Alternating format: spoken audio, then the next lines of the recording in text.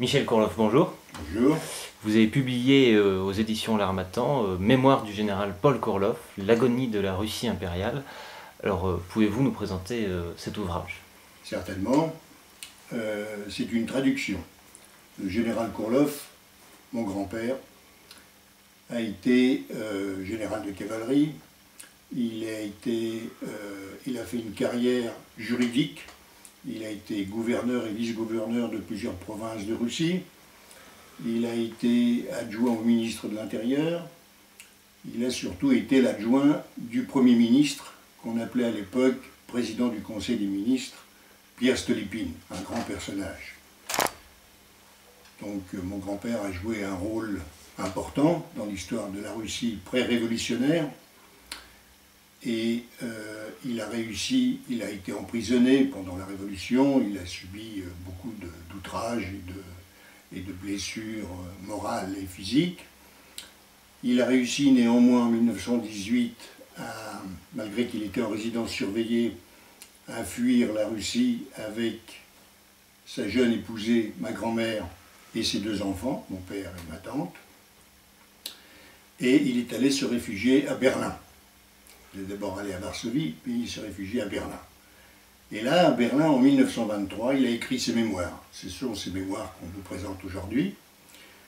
Il, les a écrits, ses mémoires, en russe, et elles ont été euh, traduites en allemand. D'ailleurs, j'ai une édition extrêmement intéressante où c'est en gothique allemand.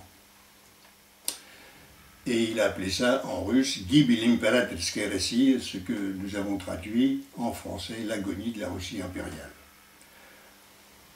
Alors c'est un long travail. Euh, mon ami historien va vous expliquer les conditions dans lesquelles on a traduit ce livre et les conditions dans lesquelles sûrement il a été écrit. Euh, ce livre est préfacé par notre ami euh, Vladimir Fedorovski, qui a tout de suite gentiment voulu le préfacer étant donné la portée historique de ce document. Et euh, ce livre comporte une postface euh, qui est signée de mon ami euh, Pierre Rosinowski, historien. C'est avec lui que nous avons traduit le livre. Et donc je laisserai maintenant la parole à mon ami Pétia pour qu'il vous parle de sa postface et du terrorisme sous Stolypine, sous Nicolas II. Bonjour.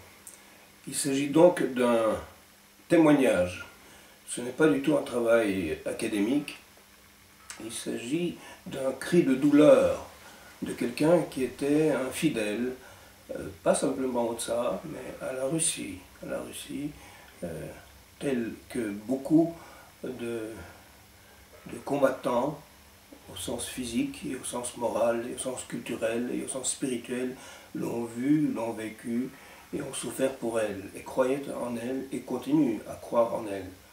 Cet homme, ce euh, général Kourloff, a eu le, malheur d'être à la tête de toute la police et de la gendarmerie de l'Empire au, euh, moment précis de l'assassinat de Stolypine.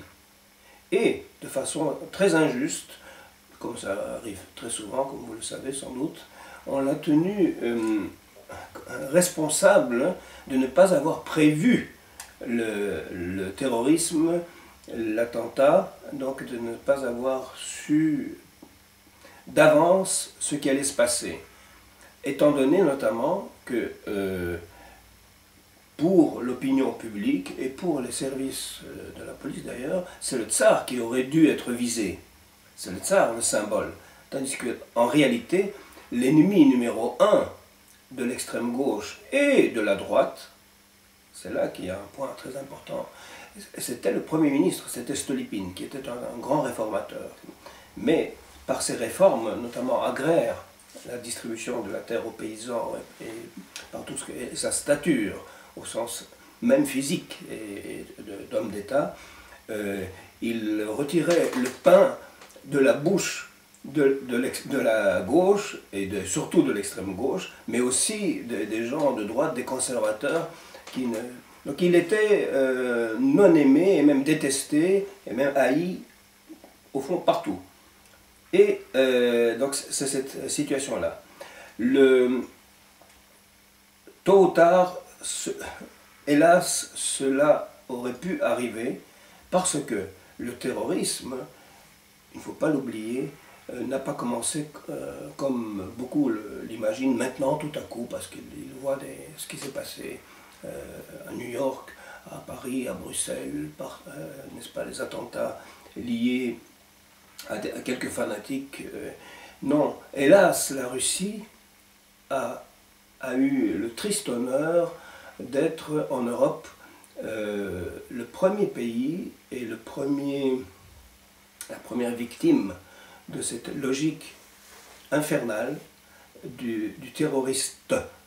Cette logique intérieure, parce que un, ça commence par un problème profondément intérieur, a été euh, génialement décrite par Dostoïevski dans, son roman euh, les, démons, qui a été mal traduit en français par les possédés. Ce n'est pas les possédés, c'est les démons.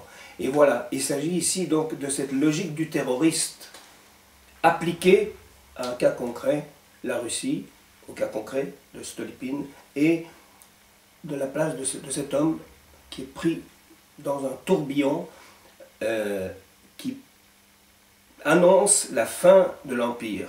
Stolypine était certainement le dernier qui aurait pu sauver encore l'Empire russe avant euh, la chute de l'Empire.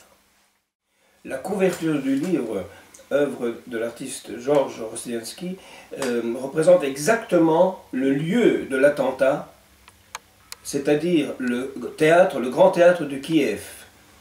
La première partie, celle de droite, est le pays pacifique, le pays tel qu'il est, tandis que la gauche, c'est le terrorisme, c'est la bombe. C'est l'éclatement. C'est l'éclatement du pays lui-même. Voilà, en une image, résumé le drame. Le drame de la Russie qui est préfiguré par cet assassinat de Stolypine.